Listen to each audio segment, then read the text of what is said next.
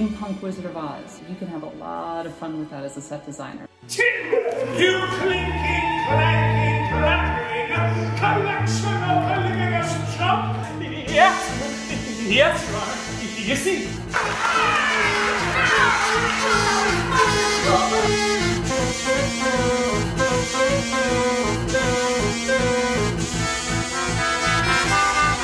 My name is Gillian Denny Bernier, and I am the set designer for The Wizard of Oz. I have designed The Wizard of Oz, I, I think, five or six times now. It, yes, way, way too many times.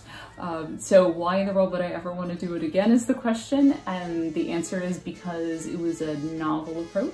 So I've worked with the director before, I really enjoyed working with Riley. What's this show gonna be like? Phenomenal. Awesome. Uh, so when he said that he wanted to do this, Steampunk Wizard of Oz, well, you can have a lot of fun with that as a set designer. So I said yes to doing the Wizard of Oz one more time, going over the rainbow.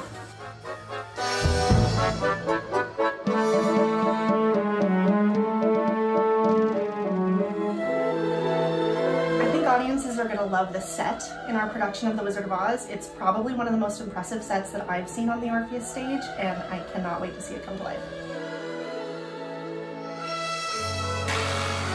Just the amount of work that has gone into creating this really amazing uh, set and sort of world that uh, the audience will be transported to.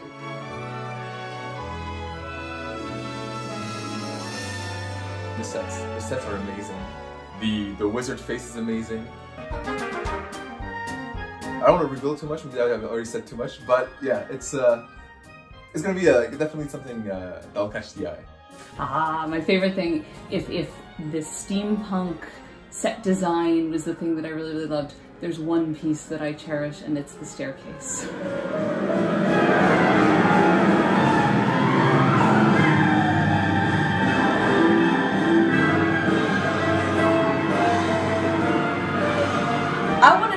The Wizard of Oz because I've grown up with it. My mom was always forcing me to watch The Wizard of Oz because whenever she was younger, uh, she was part of The Wizard of Oz, but she was the Wicked Witch.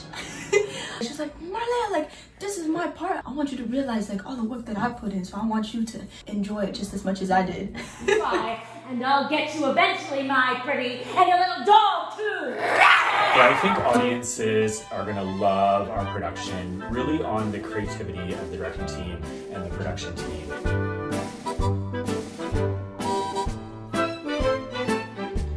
I think that audiences are really going to love the mix of nostalgia and like new takes on the show. You know, there's a lot of things in the show that harken back to the original, but there's also a lot of new images, very different colors than you might be used to. Being more uh, cyberpunky as opposed to your classic Wizard of Oz. I think the audience is gonna, okay, well, if I'm being vague, obviously everything. Mainly because I love everything about it. Um, you know, this show obviously is the classic Wizard of Oz that you are going to know and you love. Um, but what's really cool is it's kind of had this modern reimagination of this kind of steampunk feel. Um, and if you don't know what that means, think kind of mixed metals, over the top sets, puppets, costumes, special effects, you know, kind of that wow factor that I think audiences are really going to love. I think the audience is gonna love like the costumes. Especially for Emerald City. Oh, so good!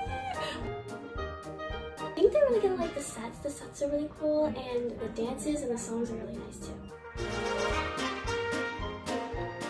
it's just such an amazing production. Everybody, everybody, you know, put in not their two cents, like they put in their dollar in. Like it's really good. So yeah, there's a lot that the audience should look forward to.